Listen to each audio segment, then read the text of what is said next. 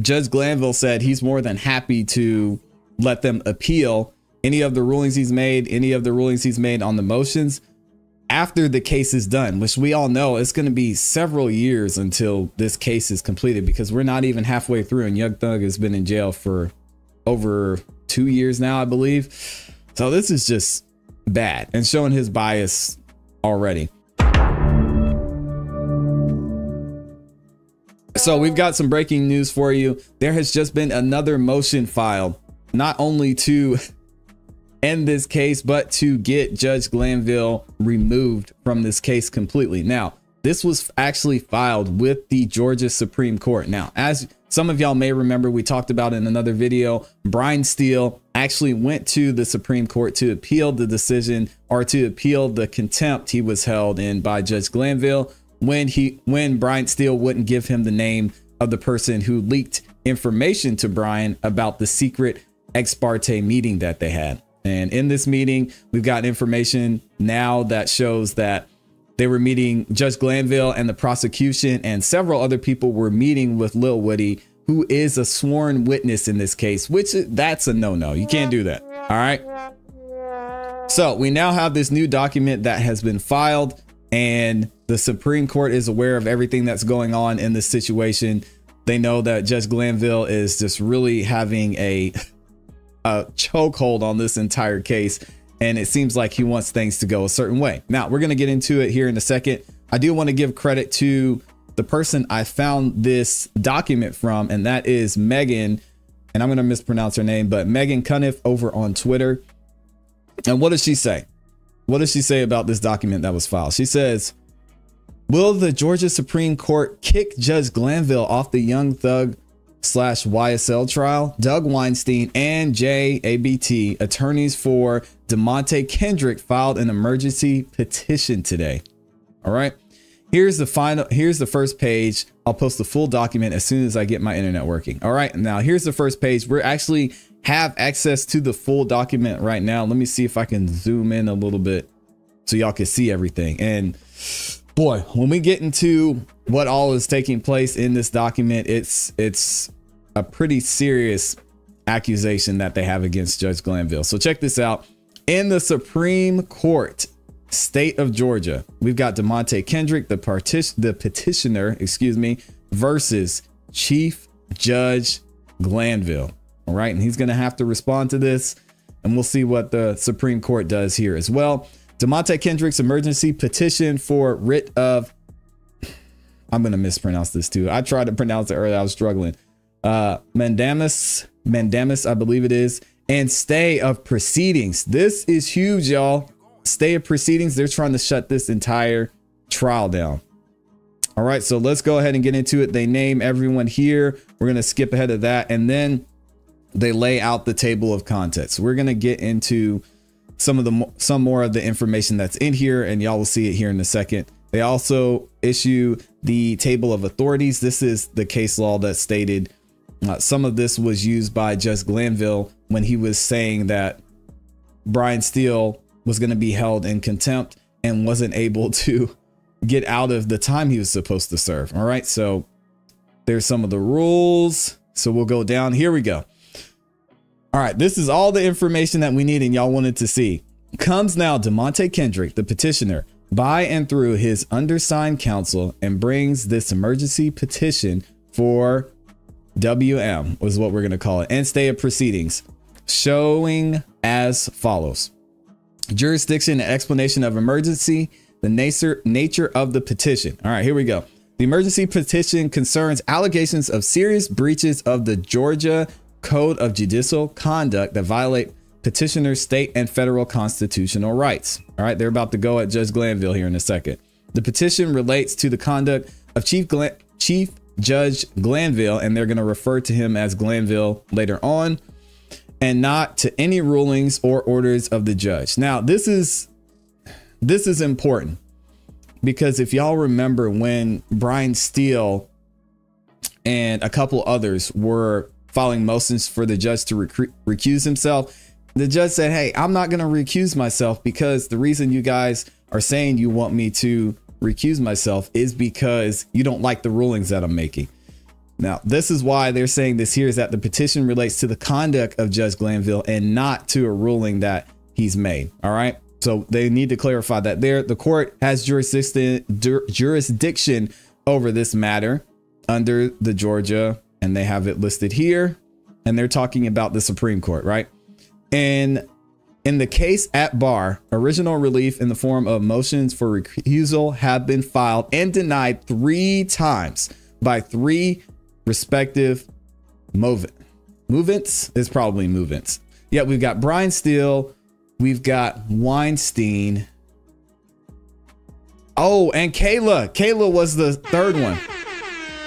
Y'all remember uh Kayla Bumpus? She was Woody's Woody's ex-attorney, the one that he fired, and she later on said that he was doing her a favor because he knew she didn't want to be on the case and she was only supposed to be there for one day covering for someone. She was the third person that filed a uh, motion for motion for recusal. All right. Likewise, Glanville has denied the movement's respective requests for a for a certificate of immediate review three times. We talked about this as well. Just Glanville, he has to, if he doesn't say that they can file these motions and they can move forward with this and appeal, then it doesn't happen, which is one thing I find weird about the law system, but I'm not going to go into that side because I don't know enough. I'm not experienced enough about it.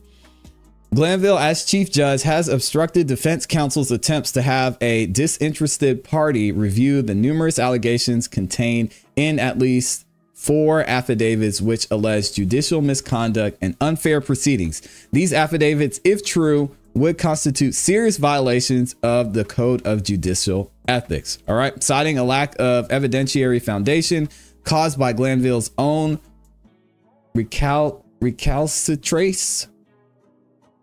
I don't know what that means.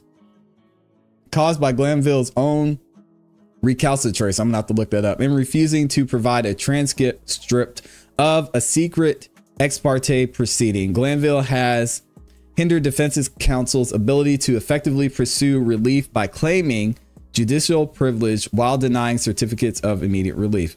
And we talked about this the other day, saying that Judge Glanville decided that he wasn't going to let them have the transcript from the secret meeting. Now it comes out and he says, okay, I'll let you have the transcript, but some of it's going to be redacted and you're not going to get to see the whole thing. So at every stop, they're trying to get more clarity. They're trying to get more transparency from Judge Glanville.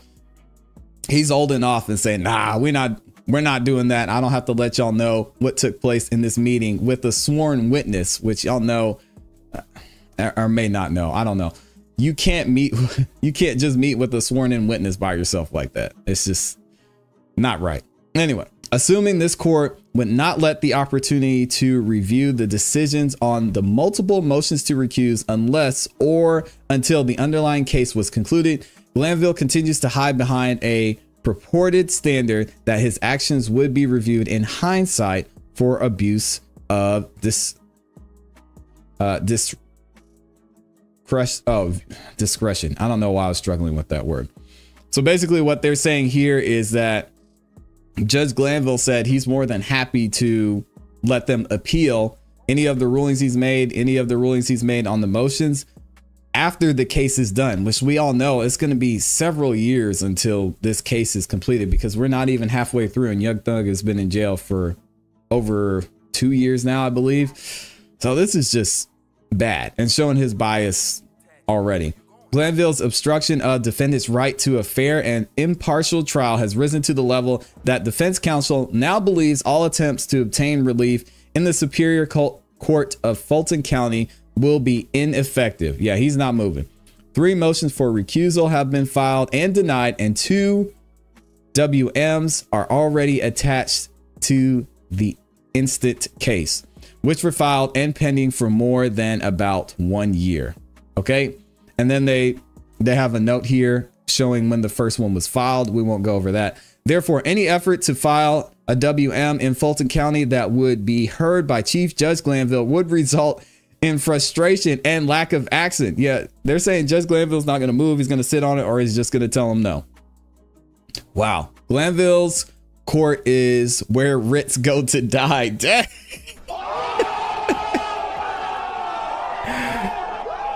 Yo, that's crazy that they put this in here. They said his court is where writs go where writs go to die. Wow. Yeah, that's that's kind of wild. But anyway, as the present petition for WM would go to Glanville if filed in Fulton County Superior Court, petitioner has no option other than for the Georgia Supreme Court to exercise in discretion and consider defendants' claims, which I think they will. Yo, I, I honestly, I didn't think this would happen, but depending on what the Supreme Court does, if they look at this and they see that there are there is some evidence that Glanville has made moves that someone who that only someone who's biased would make. I mean, this this whole case, this whole thing could be a mistrial.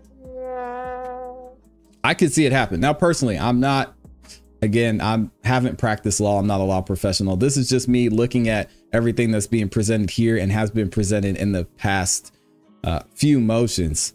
I mean, they have a lot of evidence stacked up against him, most recently in this ex parte meeting. Uh, secret ex parte proceeding was held on June 10th. In attendance were Glanville, Lil Woody, prosecutors Love and, and Hilton, that's Simone, uh, Simone Hilton, investigators from the Fulton County DA's office. They don't say how many people were there, and members of the Fulton County Sheriff's Office. As a result of the proceeding, on June 12, 2024, petitioner requested that the that the presiding judge Glanville recuse himself from the petitioner's trial for, among other counts, count two, and this is what um, the petitioner is being charged for. Despite despite preceding all requirements to inform uninf- I apologize, y'all. Despite preceding preceding all requirements of Uniform Superior Court Rule 25, the motion for recusal recusal was some was summarily denied without following the required procedure in this section. All right, Glanville denied a request for a certificate of immediate review. A formal order denying the motion was entered on June 14th, two days after the motion for recusal was filed. Jeez. Yeah, Judge, he's he's holding up this whole case. As chief judge of the Fulton County Superior Court, Glanville holds a unique position within the county, which carries a significant amount of weight and power among his fellow county judges. You could argue with him being the chief judge, especially in this case, that Judge Glanville is the highest judge in Fulton County. All right. And I mean, with it being in Fulton County, which is, I mean, the it, it's in Atlanta, right? Which Atlanta is the the capital, the highest city in this state. I mean, you could argue that Judge Glanville is one of the highest judges in this state. So he definitely has a lot of power. He has a lot of decision making when it comes to this case specifically, which is the biggest case that has existed in the history of the state of Georgia and definitely in the history of Fulton County. As chief judge of Fulton County Superior Court, Glanville holds a unique position within the within the county which carries a significant amount of weight and power among his fellow county judges. Glanville has repeatedly refused to issue a certificate of immediate review that would permit the, the Georgia Court of Appeals to review his decision on the recusal motion. Now, with the with these certificates of immediate review, right? Judge Glanville, basically what the defense is saying is we want this to, we want our motion to be immediately moved forward and reviewed so we can get this taken care of. Judge Glanville is the one that gets to make the decision. And basically, this certificate of immediate review, he has to give to the defense to allow them to appeal this decision, right? So if he says no, then they can't, the defense can't do anything. They can't move forward. And if Judge Glanville didn't have anything to hide, if he wasn't doing anything wrong, then you would think he'd be like, yeah, just go ahead. Here's the certificate of immediate review. Take it to appeals. I haven't done anything wrong. I don't care if y'all file this motion to recuse because I'm in the clear. But with him pushing back, not one, not two, not, but three times, Uh, it's it's just not looking great for him, and I think the Supreme Court's going to see that. Again, the law is crazy. We don't know what all other politics are going on behind the scenes, but the evidence is is there for sure. All right, it says, uh, therefore, invoking the original jurisdiction of this court to issue writs is petitioner's only recourse, right? So they said we had to go to the Supreme Court. We didn't have a choice. If not considered by this honorable court, the still incarcerated defendant would be forced to wait for at least another year or more of the trial before seeking appellate review. The appellate procedure in the case at bar will be extremely lengthy and cumbersome with more than a year's worth of transcripts to review. Yeah, I mean, y'all see how long just this just these few interviews with Little Woody have gone. Imagine them having to review all of these transcripts from this proceeding, from the proceedings that's already have taken place. I mean, it would be crazy. Uh, emergency relief is requested because the witness that was coerced by Glanville, talking about Little Woody, is presently on the witness stand. Which again, this is a big deal. Can't be doing that. Absent emergency relief from this court in some form, Glanville will control the scope and the substance of the undersigned counsel's cross examination of Little Woody. Now, what they're saying here is it says absent of emergency relief, this court in some this from this court in some form, Glanville will control the scope and substance of undersigned counsel's cross-examination from Lil Woody. Basically, what they're saying is the defense plans on cross-examining Lil Woody once they're done, once the prosecution's done presenting their case and you know questioning him initially, right? So once they get done with that, when it comes to the defense's time to cross-examine him, what do you guys think the first question they're gonna ask Little Woody is? And you'll have to let me know, let me know in the comments in the chat.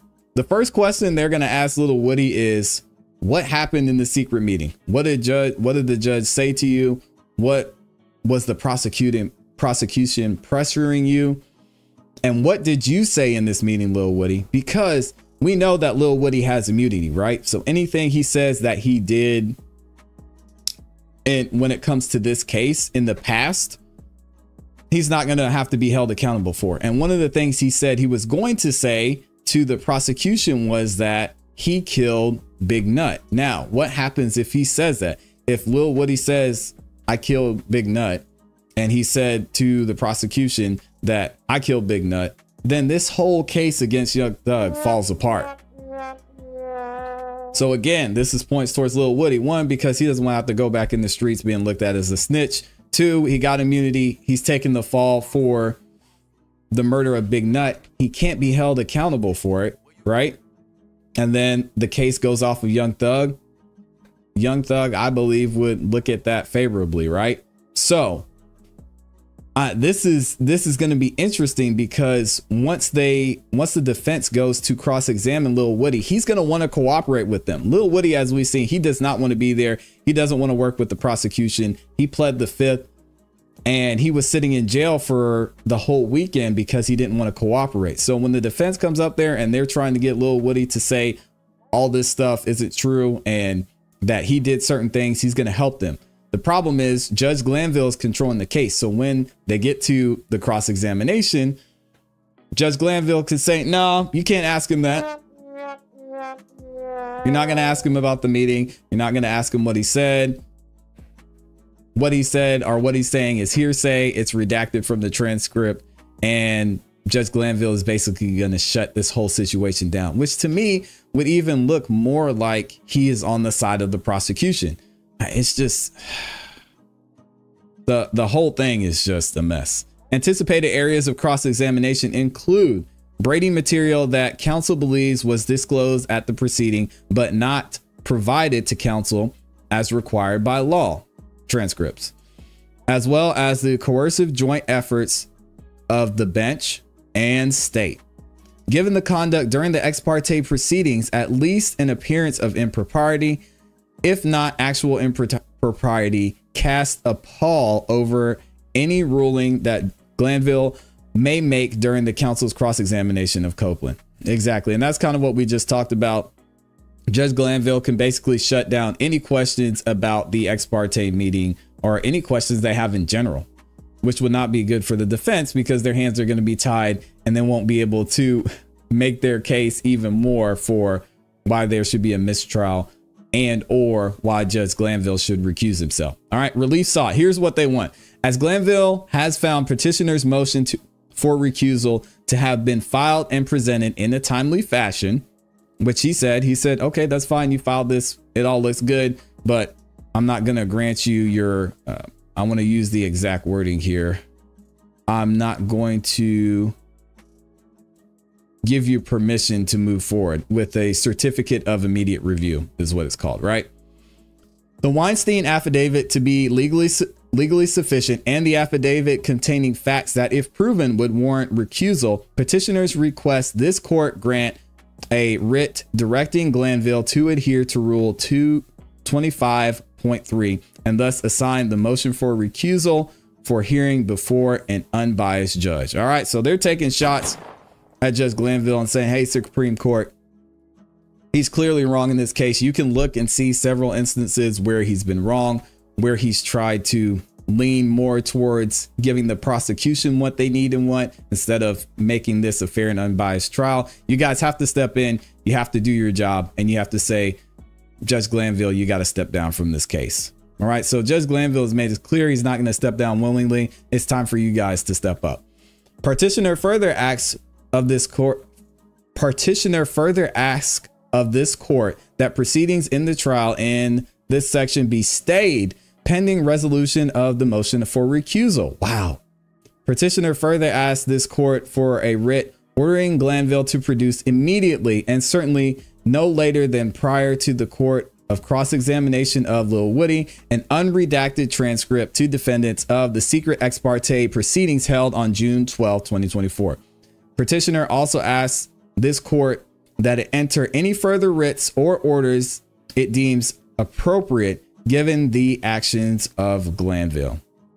Okay, so they're basically saying here, hey, we want the unredacted transcripts. We want to be able to review them before we get Lil Woody on the stand because y'all know the first thing we're going to ask him is what took place in this secret meeting because we want to move to we want to move towards a mistrial because this whole thing has been messed up the entire time. I can't. Can y'all imagine being a part of this case? I mean, in in, in every aspect, whether you're an attorney in this case, Judge Glanville, prosecution, Lil Woody, you're a defendant, you're on the jury, you're a recorder. I mean, imagine what the recorder's thinking. She's writing all this down and seeing all of this happen, just sitting there taking notes. She knows what's going on more than anyone, I'm sure. This is crazy. Whether Glanville, uh, this is the issues presented, whether Glanville was correct in failing to follow the mandates of this USCR 25.3 by refusing to refer the motion for recusal to an unbiased judge for hearing following argument on June 12, 2024, particularly after making findings in an order of June 14th, 2024, that the motion was timely, the attached affidavit was legally sufficient, and that the affidavit contains assertions of fact to support the allegations of bias and impartiality. And then we got a lot more here. They're basically talking about the procedural history, what went on, giving some background about the entire case. They talk more about the secret meeting, which we've covered in length, and y'all know about that. Secret meeting took place. The defense wasn't allowed to be there. So there's a lot to go into. This whole thing is 85 pages long. We're not going to read the whole thing, but I'm going to link this particular document in the description of this video if y'all want to review it for yourselves. If you have any thoughts or if you have any more comments, make sure you leave them in the comment section of this video too. Let me know what you think as well. Uh, is this case going to come to a mistrial? What's the Supreme Court going to do? And is Judge Glanville going to be removed from this case, first of all?